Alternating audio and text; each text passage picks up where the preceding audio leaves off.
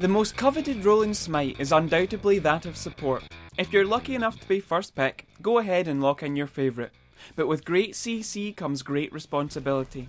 You're the puppet master of your team. Victory hinges upon your actions. Smite is a game that changes as quickly as Aphrodite's affections, so I wouldn't labour item choice too intensively.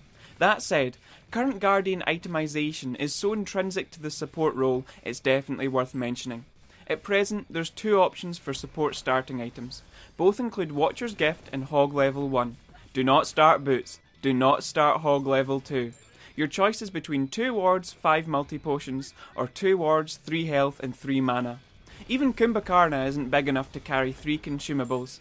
In order to accommodate the second option, fling down the wards, one at mid camps and one at the enemy blue, before porting back and getting your potion on. From here, your three main goals in life are Midas Boots, Hog Level 3, and Wards.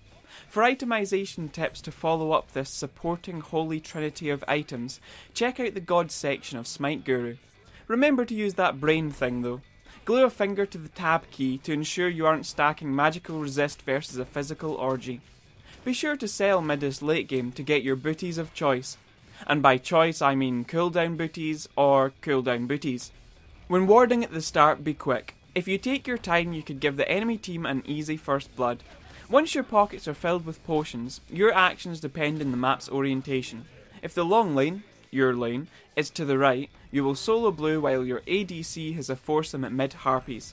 If it's safe, try to let your ADC get the last hit. If you catch the slightest hint of a steal, don't hesitate to put the blue in the ground yourself. If dual lane is on the left, you will double team blue. You can use Hog in the buff or in the minion wave, depending on your level of comfort. If there's good communication between you and your ADC partner, go ahead and save it for the minion wave for a chance at first blood. In lane is where you put all those potions to good use. Be sure to use your skills to soften the wave so your ADC can plink the last hits. ADC mains are notoriously high maintenance, be sure to spoon feed yours. Many supports have skills that can both soften minions and harass at the same time. For example, Gebs 2 can hit the whole wave and both foes if you position yourself to the side of the wave. It's important to remember that you aren't invulnerable. A good duo will take advantage of a support low in pots and high in rambo. Coming up to the 3 minute mark, you want to rotate and get the mid harpies with whoever is there. Try to tag the minion wave with a skill before you set off, so you get benefits on the move. Mids are important, but they aren't worth losing your life for. If for some reason your jungle and mid are otherwise engaged, don't fling your life away pointlessly. Remember, there are mids on both sides. From this point on, you're no longer married to your ADC. You're married to your whole team, you big supporty slut. Rotate for harpies, help the jungler with buffs, facilitate ganks, and generally be a great guy.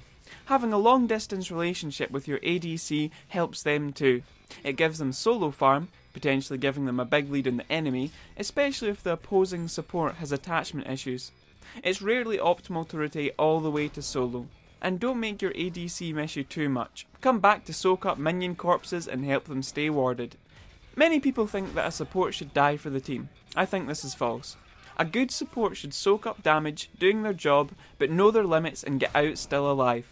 Now, as with most things in Smite, it's situational. If you're very sure that your sacrifice will save someone, go for it. But if, on the other hand, it seems most likely that you'll both end up dead, don't be a blind hero. Supporting skill is definitely related to a low death count.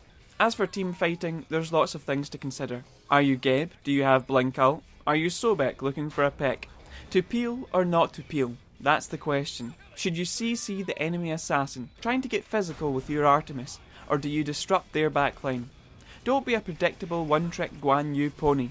If your last attempt at Blink Frost Breath was met with an Odin slash Zeus combo, don't be so keen to put your neck through the same noose.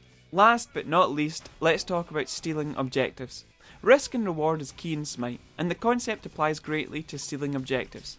The fact that you're the one being told to steal usually implies that the enemy team is in the dominant position. Are they simply baiting another fight they're sure to win? How many of your team are dead? How many phoenixes do you have? Do you have blink? How much vision do you have? Do you have any vision? You get the point. There are many factors to consider.